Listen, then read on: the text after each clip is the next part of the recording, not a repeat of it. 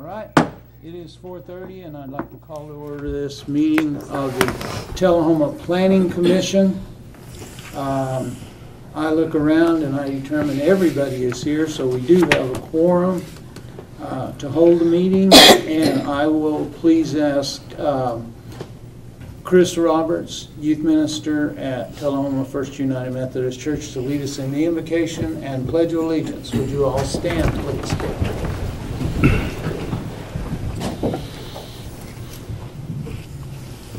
Let us pray. God of grace, we have gathered tonight to make important decisions for our community. And our prayer is, Lord, that you would grant that we may use only our best skills and judgment, keeping ourselves impartial and neutral as we consider the merits and the pitfalls of each matter that is placed before us. And always act in accordance with what is best for our community and our fellow citizens. In the name of Jesus Christ we pray. Amen. Amen. At this time, let us say the Pledge of Allegiance. I pledge allegiance to the flag of the United States of America and to the republic for which it stands, one nation under God, indivisible, with liberty and justice for all. Thank you. Be seated.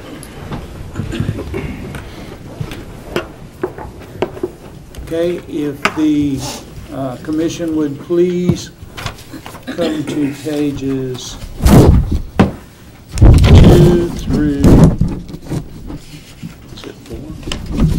four? Four, meeting, uh, meeting minutes from the past meeting.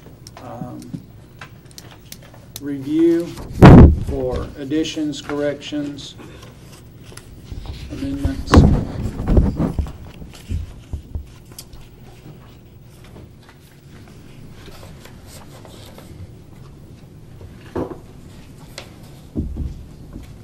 Motion to approve. Second. Uh, Motion and second to approve the minutes as printed on pages, from pages two through four. All those in favor say aye. Aye. Those opposed, no. The minutes are approved. Uh, Reports of officers and staff, Staff doesn't have any reports this evening. very good. In the old business, we find we have a uh, subdivision text amendment four. Um, Lee, would you please explain this once more so everybody will understand what's going on? Uh, we discussed last meeting, this is to uh, replace the requirements for two ingress egress routes uh, with, uh, for connectivity with uh, doing the or the connectivity index, measuring the links and nodes and dividing, well, dividing the links by nodes and coming up with a ratio. Uh, Purpose of it is for uh, connectivity and the movement of traffic through uh, new subdivisions, major subdivisions.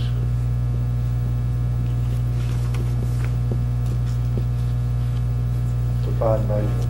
Uh, That would be any, like five or more lots or anything with new, uh, like new streets or new utilities uh, created in them.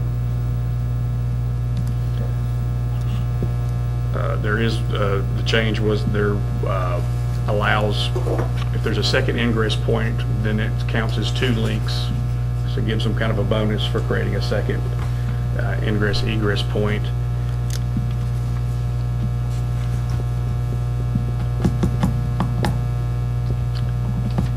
That's pretty much a summary.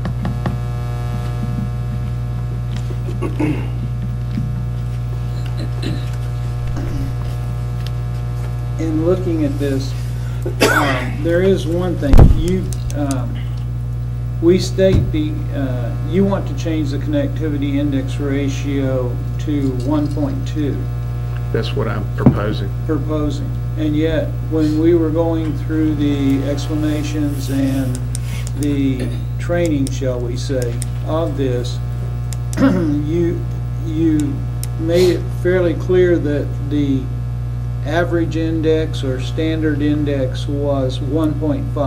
1.4. 1.4? Yeah. okay.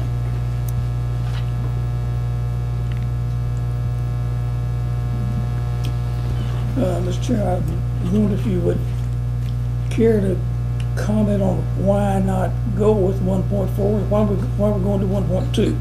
We're changing it from two ingresses or egresses, and now we're using this index, why we not lowering it from what's typical? Uh, It was just a, a way of getting, you know, the, the process in place. Didn't want to make it too burdensome, but, uh, I mean, if, if the planning commission wants one point four, I mean, we can change that in the, in the motion to increase it to one point four. What's the national average? Uh, it's usually about one point four when they use it, but, uh, some of the other folks in the state, like, uh, City of Columbia does one point two. I believe that up in Franklin, they use like a, a one point five. Have we talked about doing an either or option with the ingress egress versus 1.2, 1.4?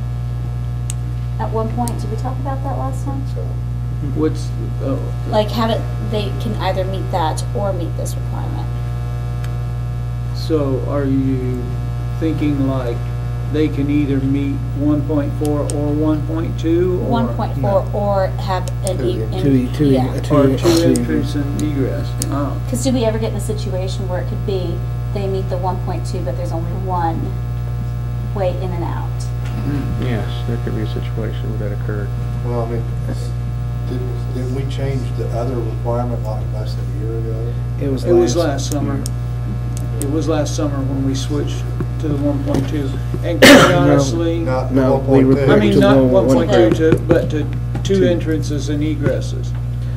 And I understand that that could be considered an arbitrary kind of point because, but we had safety concerns uh, about being able to get in and out of subdivisions in the case of emergencies like fire and tornado or anything else where one of the entrances might be blocked and we wouldn't be able to get out. And that's why we created that, that portion of it. We created that, and then we had the uh, development out at the split that, you know, initially didn't meet that requirement, and we made them meet that requirement because it was, what was in our, In our, and now we're turning around changing it, right? that's what's being proposed, yes. To, and it's being proposed, um, understanding that the ratio number that we would use um, is a, for lack of a better word, a unitless number. In other words, it can be variable depending on how the nodes are calculated and things. So it's really not a, a fixed number per se. It is a, a unitless number. But in the plan that we're looking at, we're offering, um, if you have two, as you point out, if you have two ingress egress points, that counts extra. Yes. I think setting it at one point four would encourage Yeah. the multiple entrance, entrances and exits. So it would be my thought, if we're going to do away with requiring two entrances and exits, just go to the one point four, thereby pushing to get the two entrances. And we wouldn't be going as high as, say, Franklin, who went to a 1.5 or something that really exceeds that national average per se. But you said Columbia is a one point two, Yeah, but they require, uh, two entrances though. they require two entrances with. So they have an either-or clause. Ah.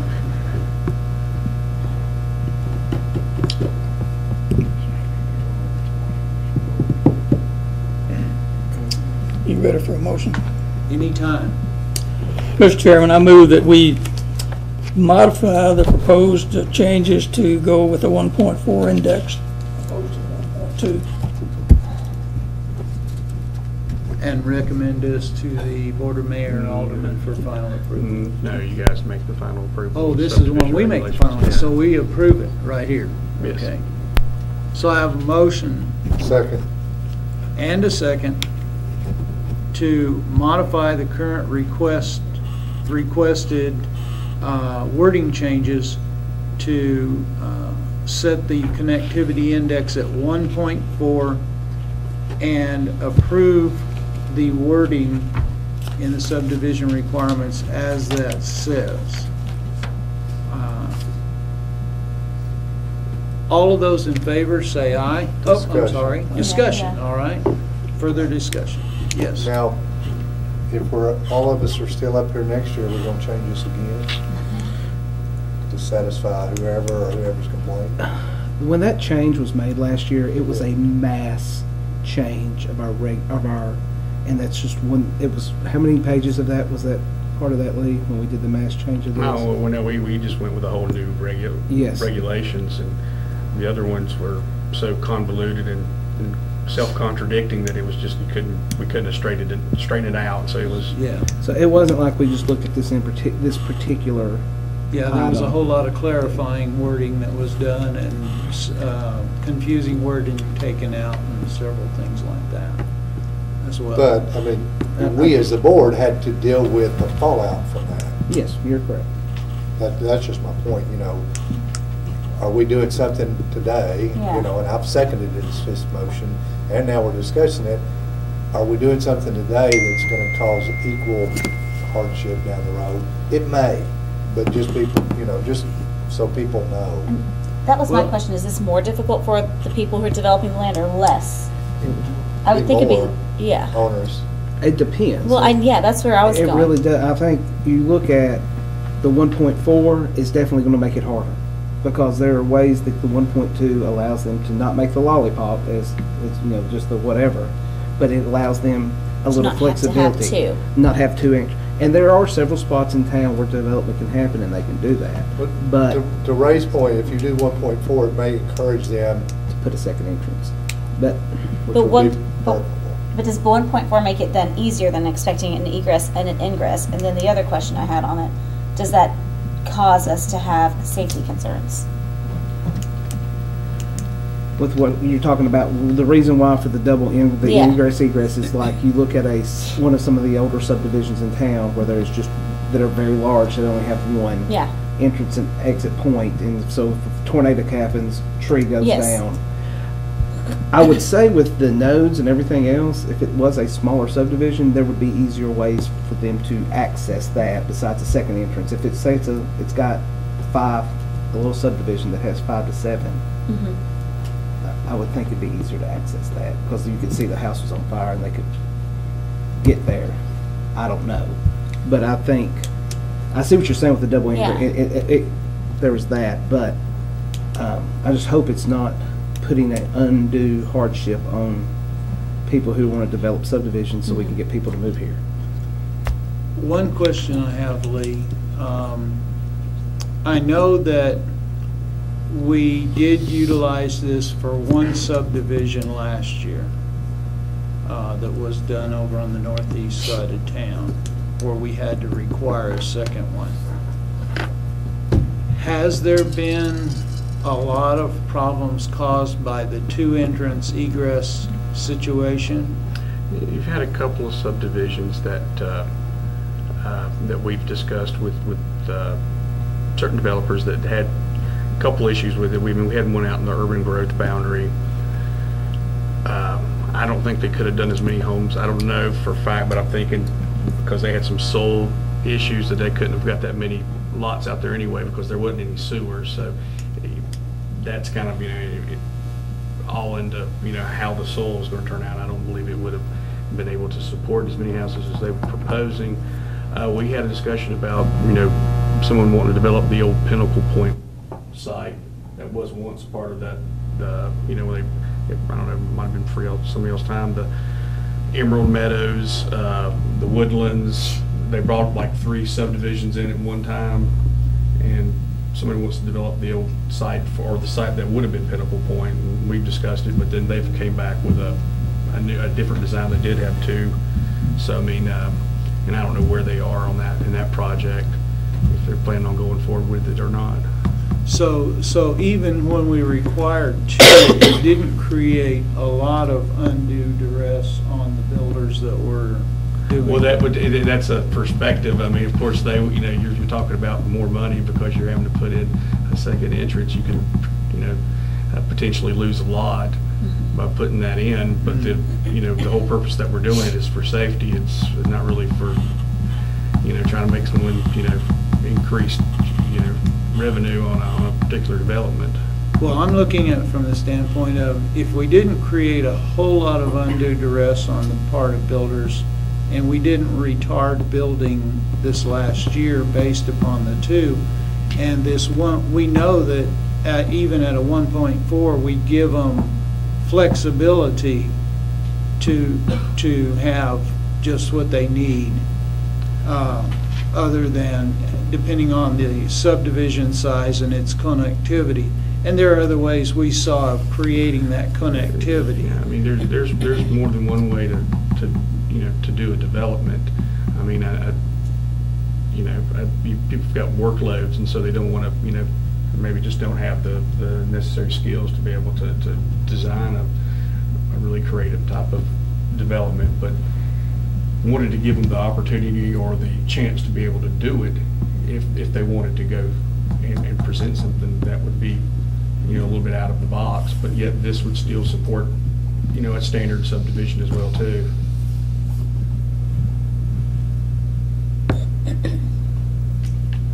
Any further discussion or questions? All right then, I'll call for the vote.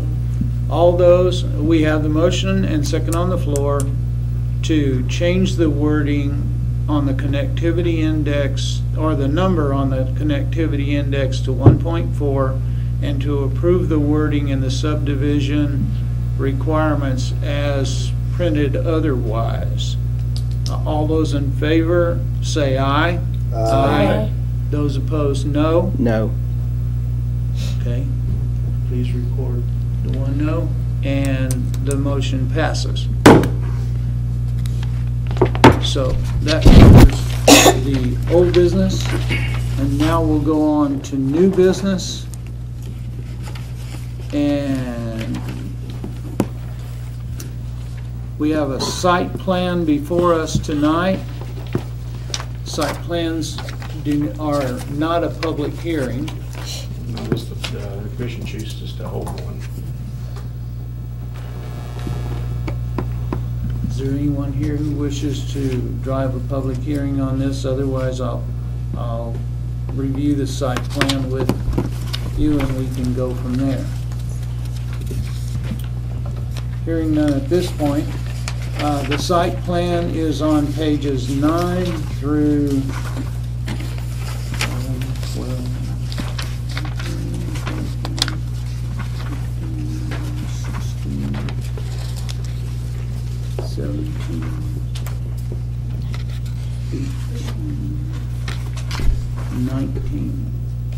So 9 through 19 is the site plan request.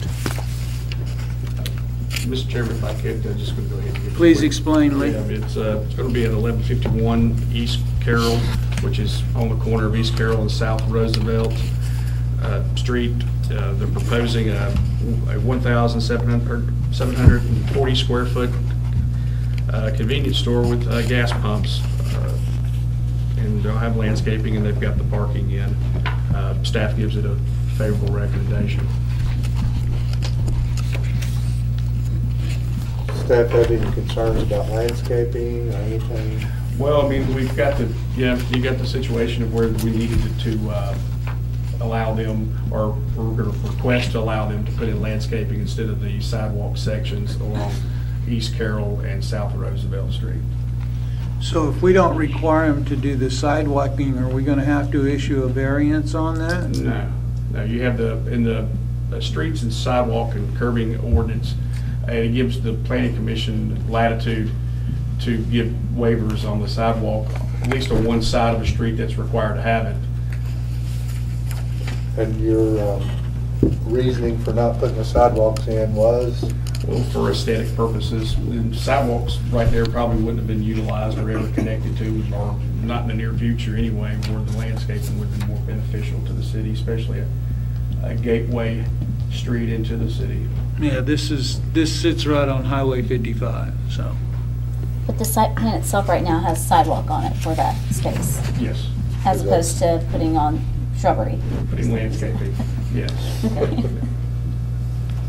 So, do I have a motion yet before we begin heavy discussion? I'll move to approve.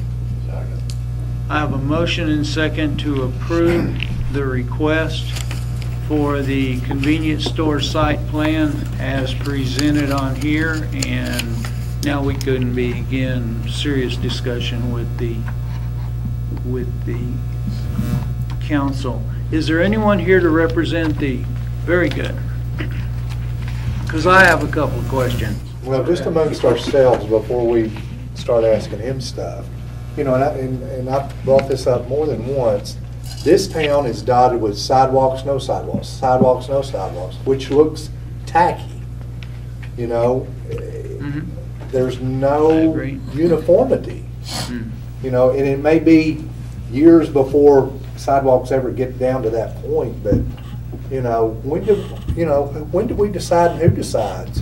When sidewalk, is it to us? Is this our purview? Yeah, you guys have. But, the- I mean, it seems like there's a lot of sections in town, even on, on the main drag, where you'll have a sidewalk and then it ends. That looks stupid. And it's unsafe. No, you know? Are we doing that with this? Yeah, my question about it was if we take the side, uh, and one of the points that was brought up was the utilization of the sidewalk. Would it even be used? Because it would be right beside Highway 55. And how many people would walk or whatever along a sidewalk along Highway 55? There was that question that came Well, up. there's sidewalks probably to the hand-on, hands-on science center maybe. I'm not, I ain't been out that way. That's the opposite side of the street. Right, but I mean, there's sidewalks in areas Yeah. there. Yep, that's true. In fact, I think there's a sidewalk just a little closer to town on that side of the street. You know, if I Uh, was but the magic further up. unicorn and had a fairy wand, I would make them put sidewalks everywhere. But it costs money. It does. Mr. Chairman, in this, in this instance, there are no sidewalks out in there. that, in that area. Mhm.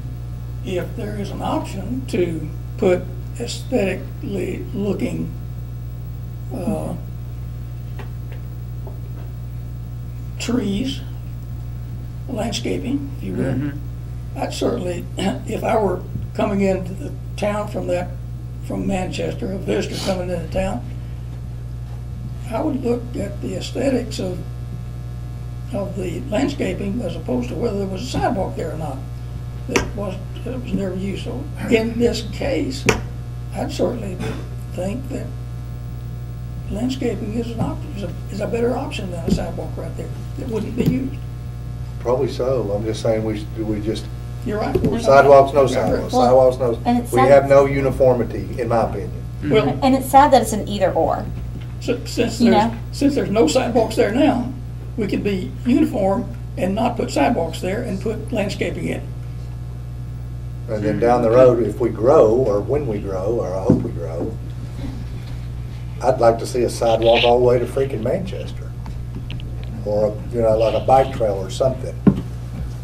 But Like I said, if I was, had a magic wand, all this is getting out to talking about money. But, you know, they have that Billy Goat Trail from where? Monteagle to Sewanee. That was in the old railroad bed.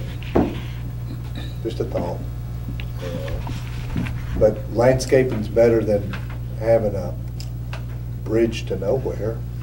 That's- Well, because then you get safety issues when you start creating a sidewalk that just ends For who? for whoever's walking. Yeah. Mm-hmm. There also has They to be jump the on the question of. They have of- more problems than, than safety. Yeah, and then there's also the question of, okay, if you put a sidewalk in, who's responsible for the maintenance of it and all that sort of Yeah. stuff along the way, you know? We have someone that's, uh, Yes, can address this issue somewhat. Well, uh, I'm Kenny Sadler from uh, Manchester, Tennessee, but uh, this has been discussed quite a bit, the sidewalk issue. And I have talked to the owner about it, and he is fine with putting in the planning versus the sidewalk. He'll do whatever the city wants him to do. Uh, So he will put in trees and shrubs in lieu of the sidewalk, if that's what, uh, so if there were a motion for it, it would probably need to include that since we do have on the plan that it is a sidewalk. Uh, I don't have the authority to show it any other way, so y'all are the ones with the authority to put that in the motion that you would rather have the trees and shrubs in lieu of sidewalk, but the owner has agreed to do that. Good. Um, Was the issue of the entrance off of Roosevelt Street taken care of? I believe we've addressed all the issues with access. Uh, We've gone through TDOT. Actually, the ride-in off of Roosevelt was a recommendation from TDOT.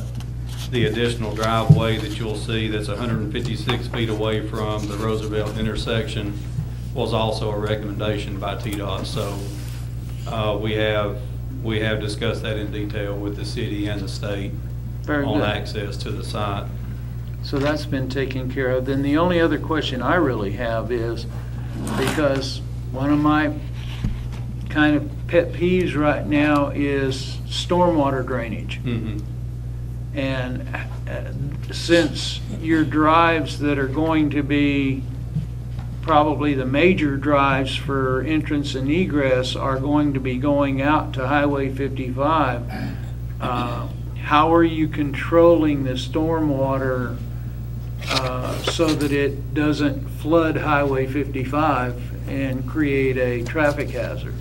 Yeah, well, there, there's certainly no flooding going to occur from this site, you know, just with the size of the site alone. Uh, But, but we're actually adding grass areas to compensate for the asphalt areas. The entire site now is asphalt.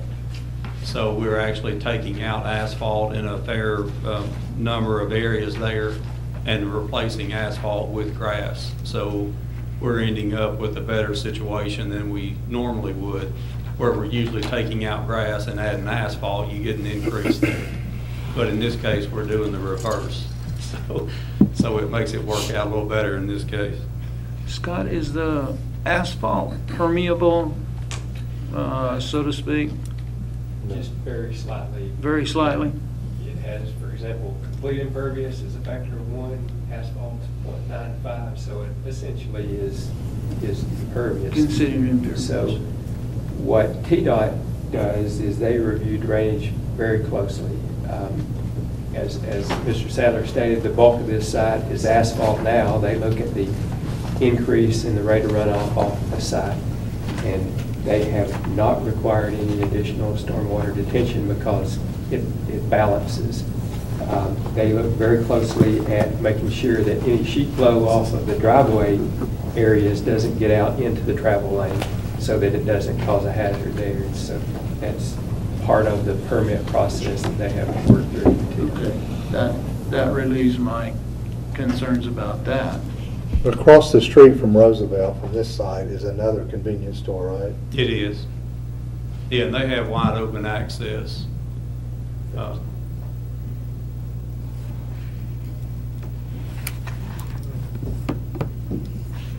Do we have any further discussion? Hearing no further discussion, we'll proceed to vote. Those in favor of approving the request for the convenience store site plan, uh, we, s- I believe most have been made yet, has it? yeah, Yeah. we have a motion and second.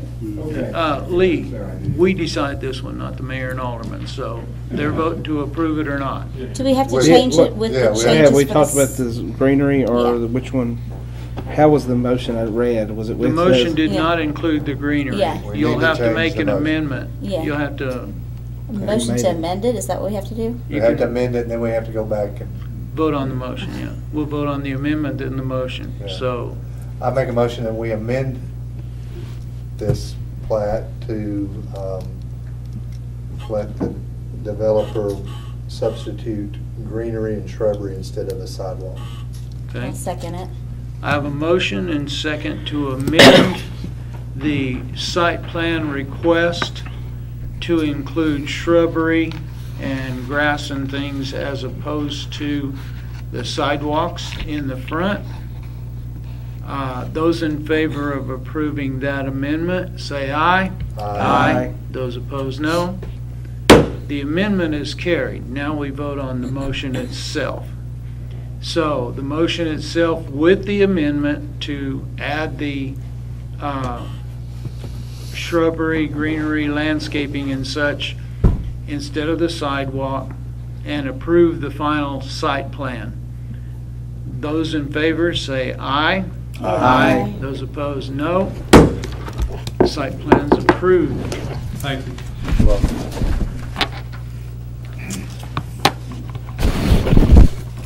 The next one will be a public hearing.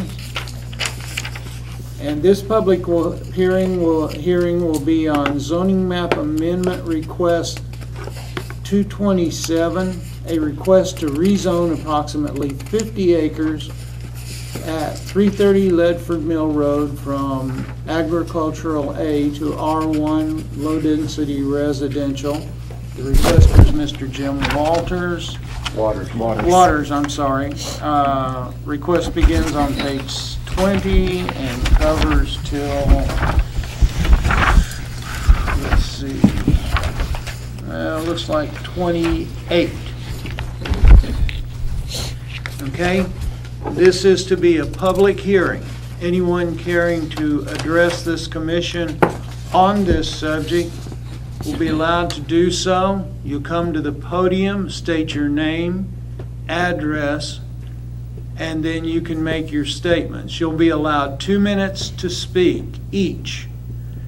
Uh, If you are the one speaking and the, the next one up wants to defer their minutes to you, they must come up and give their name and address and let us know they want to defer their minutes and you will be allowed those those two minutes. So I am opening now the public hearing on this subject. Well, I mean, you- Now give an explanation, Lee. The, the request is to rezone uh, the 50 acres from agriculture to uh, low-density residential. There, uh, the land use plan calls for that area to be low-density residential as well. That was provided in the agenda packet. Uh, Area of concern, uh, the the plan that was submitted with it as concept plan is, you know, is, is fine.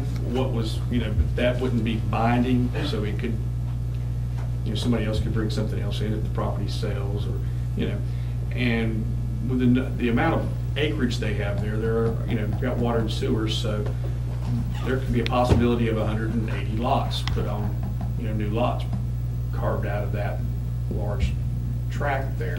And it's kind of a concern for Mill Road to have that many new homes or new lots on there. I mean, you would be looking at over seventeen hundred new trips daily just by that one development. Uh, Staff was recommending that we uh, postpone it, let us look at it and bring it back next meeting with a, a more, uh, do some research and bring back a recommendation based on that research. How many lots are on the proposed development? Fifty. But what you're saying is if it's, if the whole property sold, somebody else could develop it, And you can put a lot more in there. They can put up like hundred and eighty-one lots. not unless we approve it. Well, then, yeah, but you, we, you remember if it meets all our regulations, then it gets into a situation of, and we open up sort of. Why, why do we have a planning commission? That was my argument. Yeah. Well, um, and if you look at the planned uh, subdivision that's presented here, this is one of those that presents exactly what I was concerned about before. It- Because if you look, he's created a tree section here with only one entrance and egress. Again, that's just a concept, so he's not looking to get it approved And- for that plat. Yeah, but, but that's, that's what he's got as a proposed thing right now. And then he has another larger segment of subdivision over here with only one entrance and egress coming off of it. the cul-de-sac. So, uh, this is one of those where, and I don't know, Lee, what was the actual nodes number we came up with?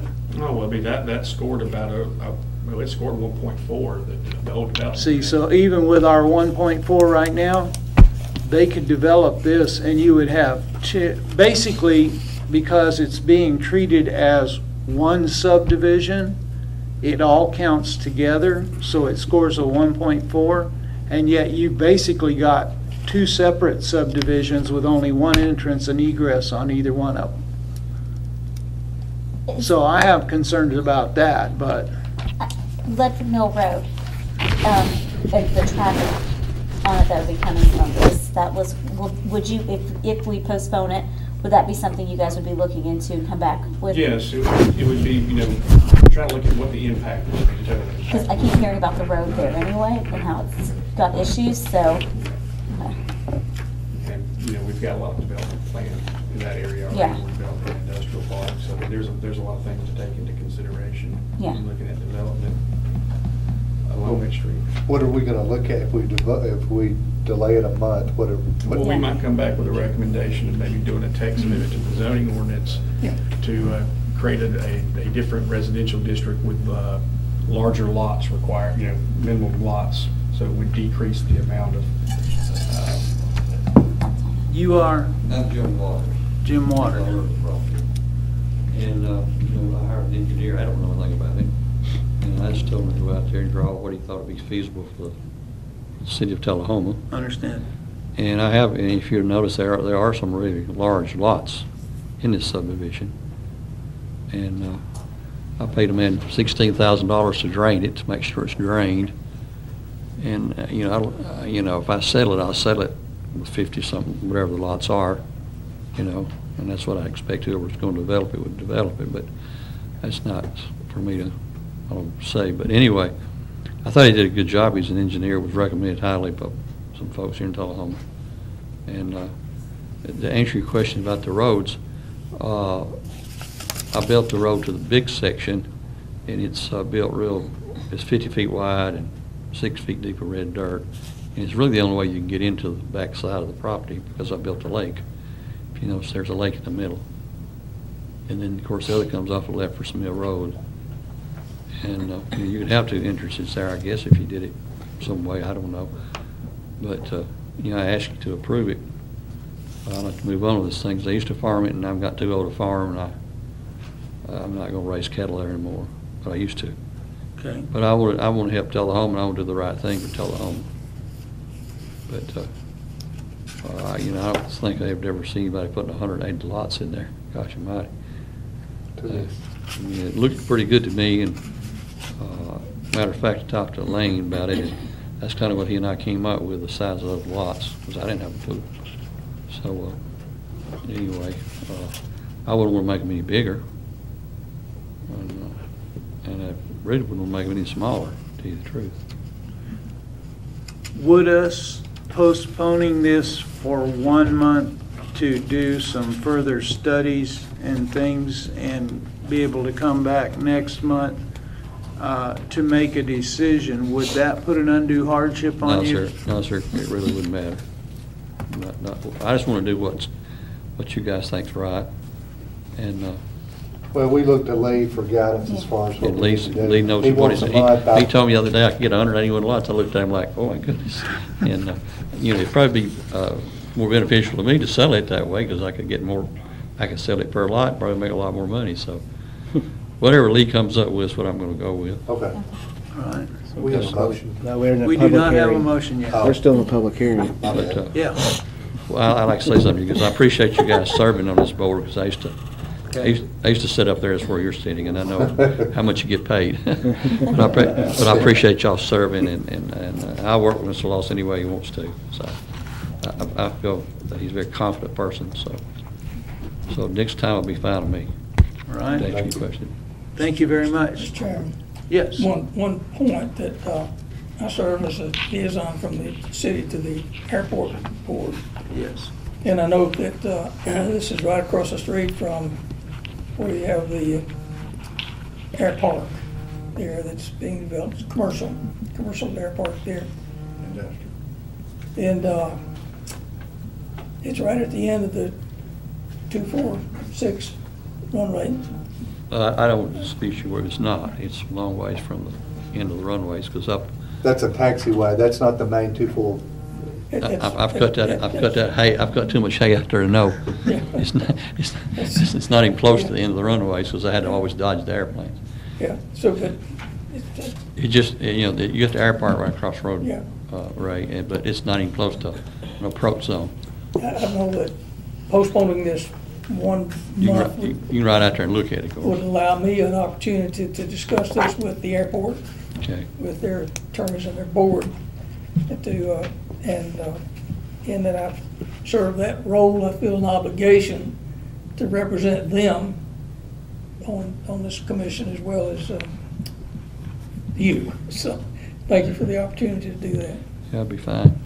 All right, thank you very much. Do we have anyone else that wants to speak to this tonight? If not, then I'm going to close the public hearing and entertain a motion. Uh, Make a motion that we postpone the vote until the next planning commission on Monday, August 19th. Second. I have a motion and second that we postpone the vote.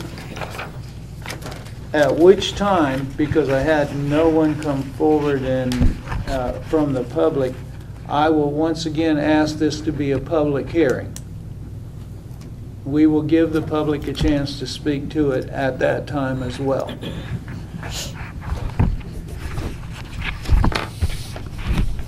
All those in favor of the motion to postpone, say aye. Aye. Those opposed, no. Motion carries. We will postpone until the following meeting. Next public hearing, uh, zoning map amendment 228.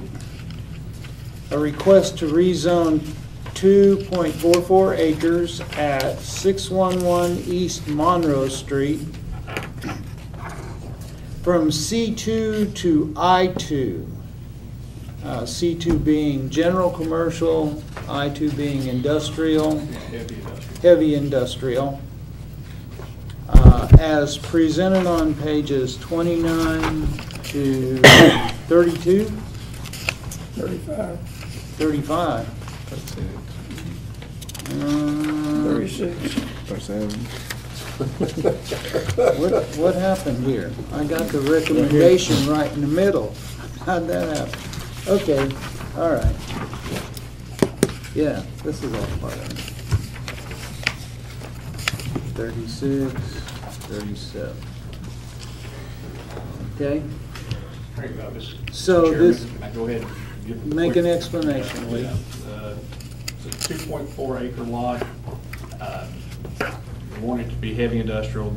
The uh, land use plan that's adopted calls for the area to be used like as heavy industrial. There's uh, heavy industrial zoned lots already across the street.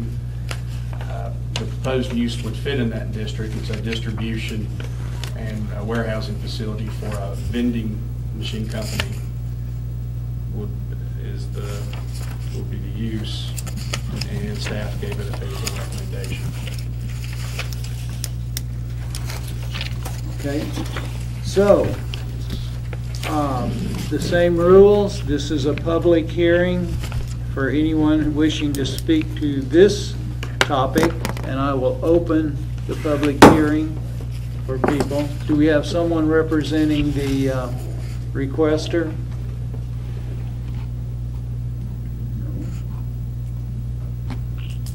Anyone else who wishes to speak to this issue? Seeing no one come forward to speak to this issue, I'll proceed to close the public hearing and entertain a motion. Move to approve. Second. I have a motion and a second to approve the request for this rezoning from commercial to industrial. Any discussion for the commission? Hearing none, I'll proceed to the vote. All those in favor, uh, this will be a favorable recommendation to the Board of Mayor and Alderman on this request. Those in favor of sending a favorable recommendation say aye. Aye. Those opposed, no. The recommendation is made.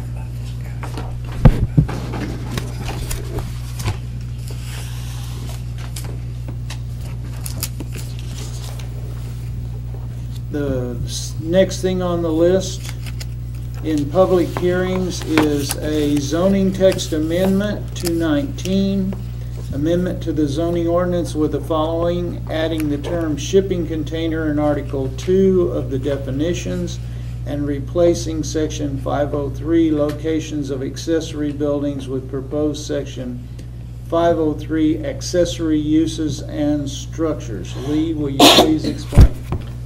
Okay, the first one is to have a definition for shipping containers.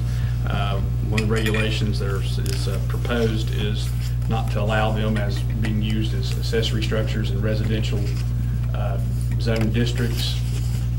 And uh, second one is to, it's actually reestablishing the uh, accessory use and structure section from the previous ordinance into the current ordinance. Right now, it just addresses the location of accessory buildings, so it leaves a lot of things, a lot of situations unaddressed by the ordinance that we come across on a daily basis. So the purpose of the amendment would be to address those, that issue and be able to give better guidance to staff and to the citizens by listing uh, appropriate accessory uses uh, with, uh, along with the principal uses.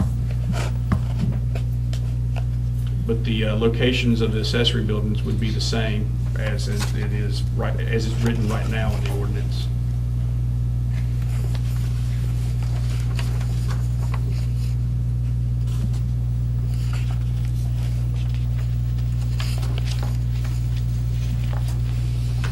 So basically, the first thing we do is define a shipping container as the kind of containers that sit on eighteen-wheelers and travel around and are used for shipping, Or railroad tracks. or railroads or anywhere else like that.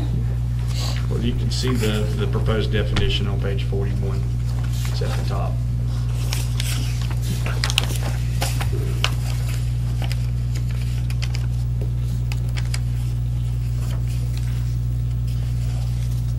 Flip back and forth. Now, if we do this issue, um,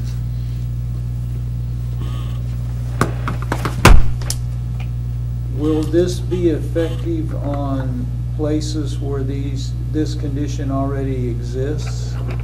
Are we making it effective on them?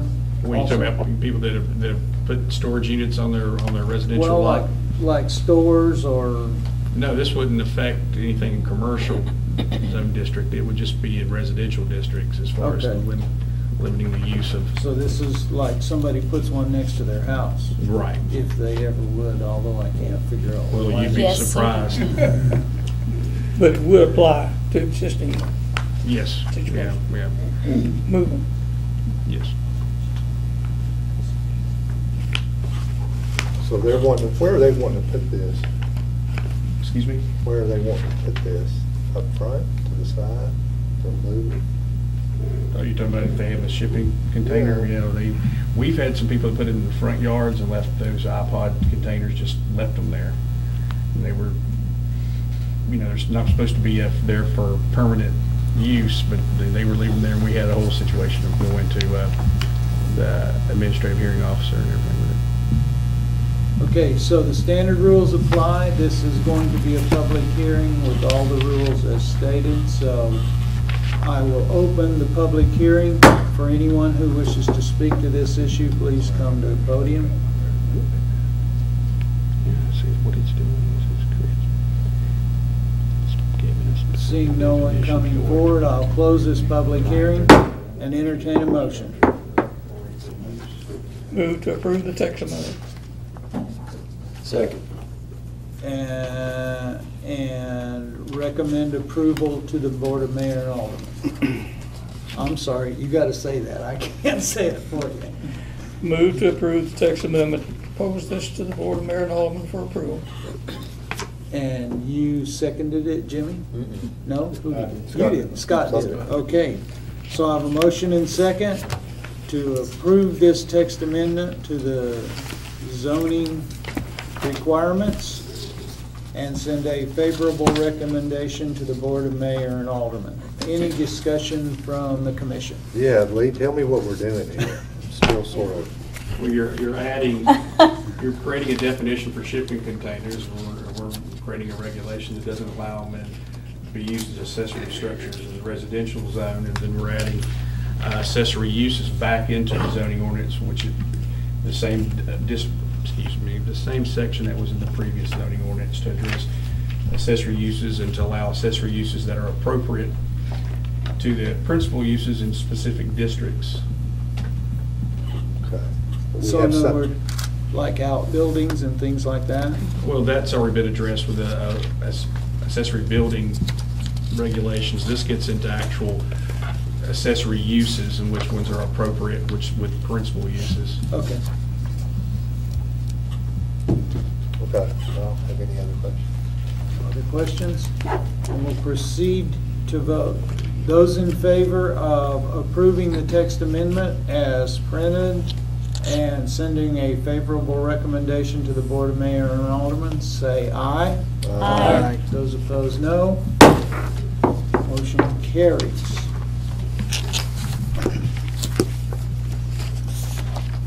Okay, that's the zoning text amendment. Any other new business to come before us tonight on the, in the uh, planning commission? I don't believe we have any.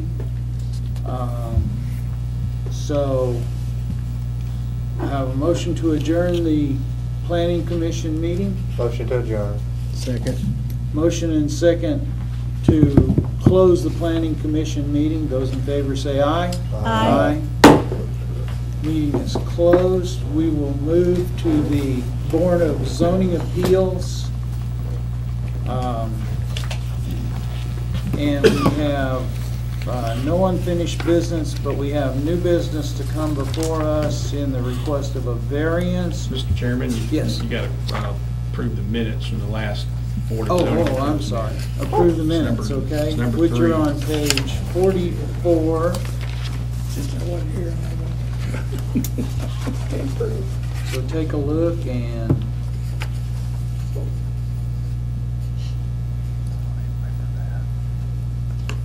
I wasn't there for it. Do we have a motion? Motion approved. Second. Motion and second to approve the Board of Zoning Appeals meeting mi- uh, previous minutes. All in favor, say aye. Aye. Those opposed, no. Minutes are approved. Now we can go on to the variance request, a request for variance from zoning ordinance section 503.3, location of accessory buildings to allow a 100 square foot accessory building to be located in the front yard and partly inside the East Grundy Street right-of-way. Inside the right-of-way? Okay. Uh, At 210 East Grundy Street. The applicant is Miss Cynthia Kinney, Director of Good Samaritan of Tullahoma. The documents begin on page 45 and carry to the end, I believe, don't they, Lee? Yes. Okay, so this will be a, this will be a public hearing on this subject.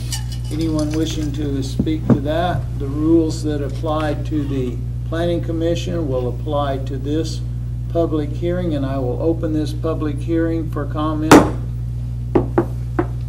Mr. Oh, excuse me, make an explanation. Oh, okay. I'm Well, sorry, you- you- I always read- should ask you- that. you- You've read it, and we've, and I've looked over it, unfortunately, the staff cannot give it a favorable recommendation. Okay. So we give it an unfavorable recommendation. An unfavorable recommendation. All right. One further thing, uh, this is more than a request for a variance because it's a request to erect a building on a public right-of-way. We also involve, if there were a favorable action on this, a request uh, for surplusing of that property so the building could be built there. I see no request to surplus the No, property. it's not here, but I said it would involve that if you all would approve that. because The variance, the ordinance uh, providing for variances does not address at all variances that would also utilize public rights of way, any kind of thing. All right. State your name and your address uh, for the record. Uh, Good afternoon. I am Cynthia Kenny, and I am the Executive Director of Good Samaritan of Tullahoma. Uh, I had planned a PowerPoint presentation, but apparently that's not going to happen. Uh, Our, our computer doesn't interface with your VGA cable. Oh, okay. Well, we don't have the wireless yet, so. uh, Yeah, I thought you might have. Yeah. Um, If you want, I have them on, uh, Dr. Blank's, I have them on a memory stick, if you just want to put them on your computer. That's okay. Uh, I oh. don't take any outside devices on my computer, sorry. Understand. You could be Um, Jesus and I wouldn't let you do that. Okay. I believe you have some, uh, L- Lee, you, in, Yeah. in the packet, there's some pictures. Yeah, I put everything in. Pardon? I said I put everything in there that you submitted. Okay, well, we'll just try to uh, fly by the seat of our pants then, and hopefully my dialogue will match up to your photos. Um, How many of you are familiar with the Good Samaritan of Tullahoma? In what, in what we do? So you know that uh, we were chartered back in 1985 by Tullahoma churches of all denominations in order to work together to provide for the area needy. Uh, We have a ministry and a thrift store, and our ministry allows us to di- just distribute food. We provide relief aid to those in need uh, for utilities and rent and medicine. We have a dignity campaign, which we provide basic cleaning and personal hygiene supplies. We have a baby boom project, which allows us to provide diapers, wipes, baby food, formula, clothes. And we also have an animal harbor program, which allows us to provide pet food, cat and dog food to the distressed families. Uh, We, our thrift store is open from 9 to 2, Tuesday through Friday, and 9 to 3 on Saturday. And we sell usable household items, clothing that is donated, uh, we can sell for a dollar a piece. And the main thing is that the thrift store proceeds significantly help fund our ministry programs. And this is where the problem begins. Uh, Currently, our after-hours donation closet poses a health and safety risk to the public and to our employees and volunteers. This is because the closet is not large enough to hold the multitude of clothing, shoes, sheets, blankets, and other donations we receive during after hours when we are closed. Uh, The following photos show our current process and the capability to accept our after-hour donations. Uh, I think, Lee, is the first one the Google Earth? Uh, The first one, the, the attachment A1 was just in the building. That- that this- That we're proposing? Yeah, the uh, place for you, page 58 would be, where uh, starts where they're currently taking uh, donations, and then uh, page 59 would show uh, another view of that. That would be attachment B3 and Mhm. B4. I, let me do this. This is the, uh, I don't know if you have this in your packet. It's the Google Earth. Okay. Uh, And uh, this uh, Google Earth photo with the property lines and the center of Grundy Street from the TNGIS Property Viewer Map data, looking at Good Samaritan property lines. Then the next two photos are looking down East Grundy, and I think you may have this. It looks like this, where you see uh, the public sidewalk and parking on the left, and the after-hours donation sign on the right indicating where to place donations. Then the next three photos are approaching the donation area where the closet is located, and the donation closet is approximately, and I think you have this in your packet, it is two feet by five feet wide. And this is kind of open, the door opening to the closet. And then this is the inside of our collection closet. Then the next three photos shows what happens during the night or after we are closed. And you'll see a photo that looks like this.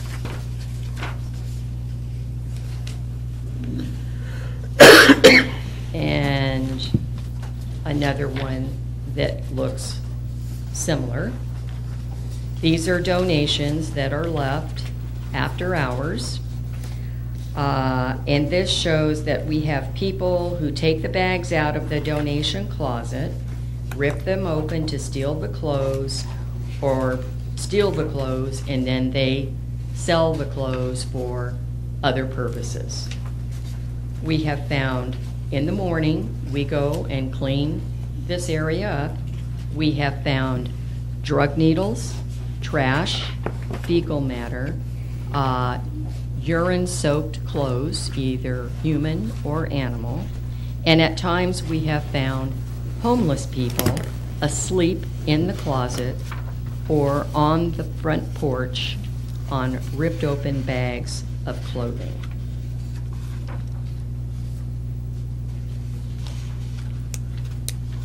The next two uh, photos, and you may not have these, will show bags of clothing that have been dragged to the back of the building, our building, and ripped open. In addition, we have had, uh, found bags of clothing in the back of the offices facing Lincoln Street, such as this. We have received more than once phone calls from Dr. Long's office saying, you need to come over and pick up this mess. He's got a nice green area in the back of his office, and often bags of clothes have been ripped open and torn apart, and there's a nice mess in his yard. Uh, they're often found around their trash cans in that alleyway. way. Also, uh, we have picked up clothing from the dumpster at First Presbyterian Church. To alleviate this public and employee safety and health issue, we have looked at several options based upon constraints of our building, location, parking, and public access. We have researched many uh, clothes collection bins and containers, which are very expensive, and basically they're not large enough to accommodate the number of donations we receive. In discussion with Watson Barnes, we have been made available to us a 10 by 10 outdoor shed shown in these photos, and I believe you do have these. We would uh, modify this, the shed to include a drop chute for all of the clothing bags, shoes, and the like. We are also willing to paint the exterior of the shed and put plantings around it so that it looks more acceptable than a shed sitting on a front lawn. Uh, I want to point out, in addition, uh, I have called our local police department, and you can see they have made many trips to Good Samaritan because of the theft that has occurred. So, uh, why this is important is that because these donations allow us to support the community in many ways that you are not aware of. I just want to run a couple of numbers by you.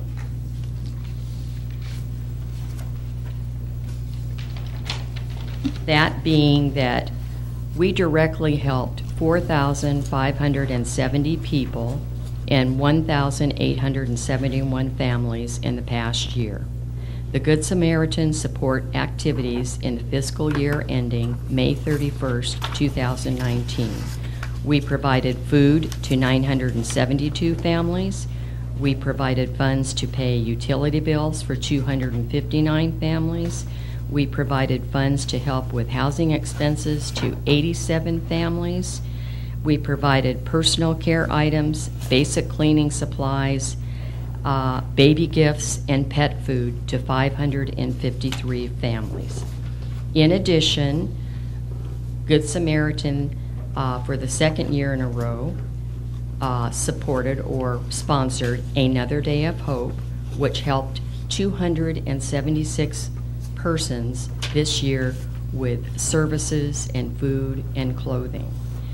Uh, We work side by side with Tullahoma Post Office, and we help them during the National Association of Letter Carriers Food Drive. Uh, Currently, I'm working with Tullahoma Police Department. Uh, We are working on their emergen- emergency food pantry program. Uh, We work with Coffee County Senior Center, Tullahoma Daycare Center, Tullahoma Housing Authority, Shepherd's House. Uh, We help the uh, residents at Everlasting Journey. Uh, We also support Veterans and Family Courts Services of Coffee County. In summation, we would be grateful for you to approve our request for this variance so we can continue to serve those in need in our community. Thank you. I don't know if any of you have any questions? I have a few, you know, I think y'all do wonderful work. Thank you. Um, And I think, you know, the problem is out, uh, you know, the problem y'all are experiencing is not, in my opinion, gonna be solved by building right there. I mean, wherever you put your building, it's not gonna change the nefarious action mm-hmm. of bad people. Mm-hmm. Whether you put it there, you put it in the back, wherever, they're still gonna be getting in there if you have a chute or whatever.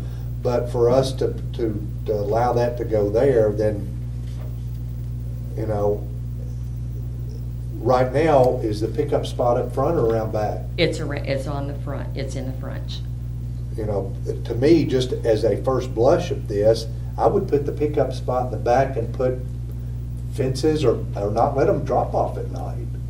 You know, I don't, I don't think it, it is our, our job to figure out where the pickup spot mm-hmm. is, but you're making us decide whether or not you can have that up front.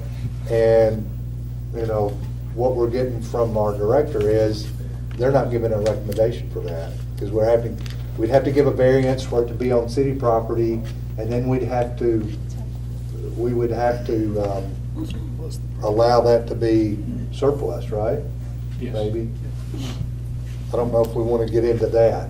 You know, if we could get that building around back or something, I don't have a problem with that, but where it's going right now is the problem.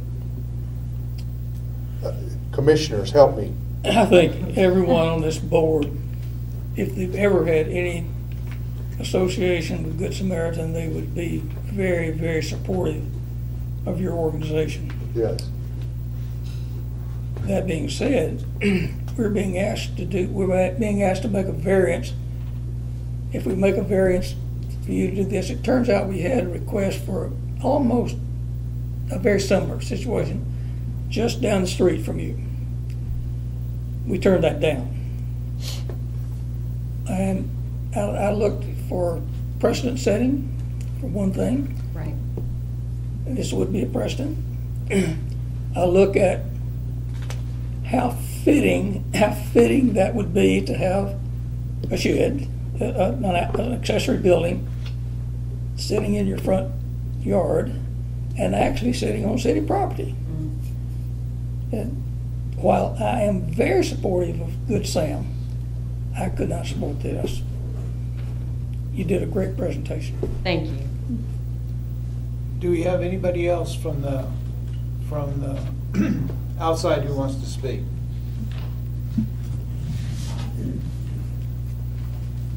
Give us your name and address. Uh, John Paris, uh, address 210 East uh, Grundy Street. I'm one of the volunteers there, and I'm one of the ones that shows up at 8:30 in the morning and goes out front and goes through all this stuff and goes around back and dumps it.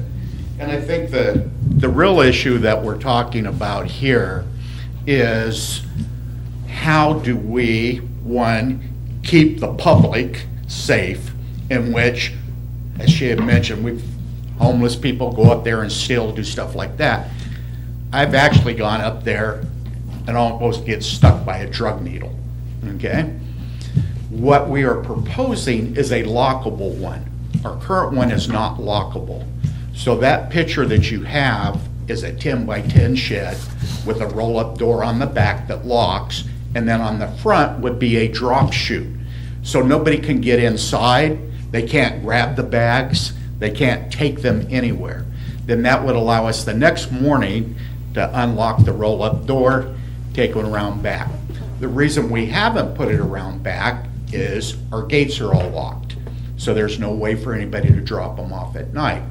There's no room on the sides because there's Poplar Alley on one side and the property line on the other side.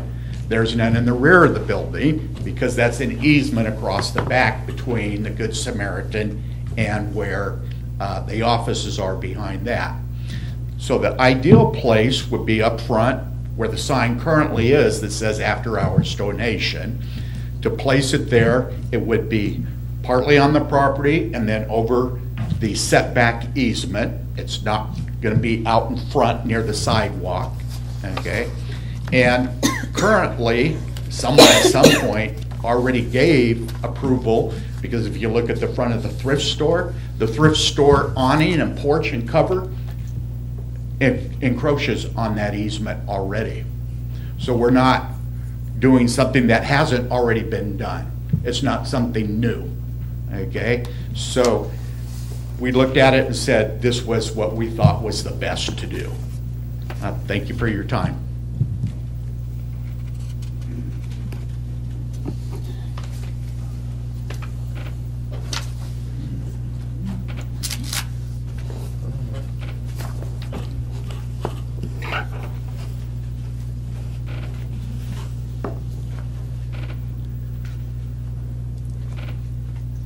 Anyone, anyone else wishing to speak from the public? If not, I'll close the public hearing. Entertain a motion on this request for variance. I'll make a motion to deny the request.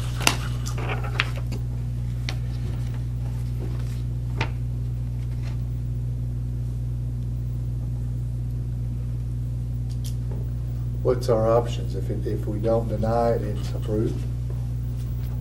What do we have to do? No, if you, if, if you, if, he's made a motion to deny the request. Correct. If nobody seconds, it dies for a second, Right. but somebody has to make a, re- a motion to approve the request. You either gotta deny or approve. How do we get into discussion phase? A motion has to be on the floor. I have to have a motion and second on the floor to get into discussion phase. Second, the denial then, then we can discuss it. Can it not be changed? Like I'm looking at this picture on page sixty-seven. And it looks like it's going lengthwise forward as opposed to turning it ninety degrees. Well, they're so close to the sidewalk, they don't have anywhere else to put it. Like you can't go, It will still extend on, on into city property. You see the, Regardless if you which look way? at the red dotted line, the red dotted line is the property line. That way, and that house is right, you know, they're taking the. okay. They still have enough actually, room. they technically don't meet the setbacks of the property line requirements right now, but that's not a subject here. Well, it's a non-conforming building. It's been there for, Yeah. it was a, it was a funeral home before. Yeah. Yeah, Yeah. Ben's been there forever. And, but one thing I would note very quickly is, as I looked at the cars that are parked on the front of your building, you're actually, this, this is not an easement, this is a right-of-way, which means it's there for a street. okay? And it's supposed to be kept clear, as a street would be kept clear. Uh, We are, by parking cars in the front, you are actually violating the right-of-way law in the city by parking in the front. And the reason that it doesn't ever come up is because there's about half the stores and other things around that area that have that very same problem. So we would have to be ticketing cars all day long if we were doing it, and we're not gonna do that, obviously. But we need to make clear that this is a road right-of-way. It is not an easement on someone's property here. To do this, we would have to surplus the property. And probably it would have to be surplused in a way that would take up a full strip along the front. And understand, if the property were surplus, that doesn't mean you get it. Whoever buys it gets it. And somebody else could buy it out from under you. So you, you would still stand in danger of not being able to do anything at that point. So I want to make sure you understand all of the rules and regulations that come into, into being in this thing. Can the property be surplus? That's up to the city. They have to decide that. We don't do that. Well, you would be given a recommendation. We would be, we would be asked to give a recommendation to whether we would Well, want to. just like Ray said, we, y'all had the same issue with the property right around the corner that had the appliances. Yes. And y'all had a, a not favorable recommendation on that, or favorable? No, No, we denied the request for variance. But it came to the city board, we voted on it, correct? Well, you have to vote on our No, no, no, denial. it- The the surplus request came to you guys, hmm. And we voted that down, yes. yeah. Yeah.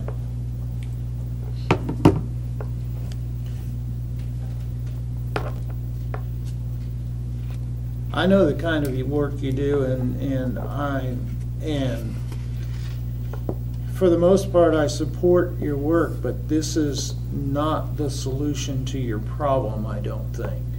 I think there has to be another way to approach this. Um, And I see, in I see other buildings at the back of the property that I'm not sure what they're used for, but possibly could you figure out, for example, at the back of the property, there seems to be a small building similar to the ten by ten Not our job. right in the corner there, is, it, would it be Figure it out. possible that you could do that? I don't know. It's not our job to tell you what way to do it. But that's one way you could possibly think of, of getting the job done, or whatever.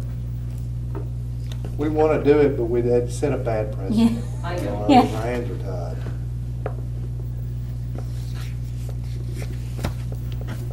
Any further discussion from the commission? All right, we will proceed to vote on the motion um, to, how- how does it have to be worded, Lee? Is it send an unfavorable recommendation? It was just- it was just, be a- it was the motion to deny. Okay, we have a motion to, de- and second, to deny the request for variance as requested. All those in favor, say aye. Aye. Those opposed, no. The uh, variance in this case is denied.